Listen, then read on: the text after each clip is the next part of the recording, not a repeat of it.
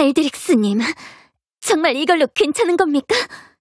신의 힘을 모두 빼앗겼습니다. 목소리를 줄여라, 베로니카. 여기가 어디라고 생각하느냐? 시, 신앙님, 무례를 용서하십시오. 그릇의 상태는 확인했습니다.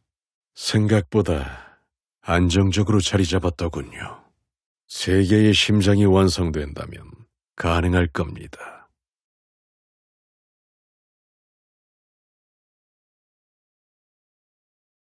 신왕님의 뜻대로.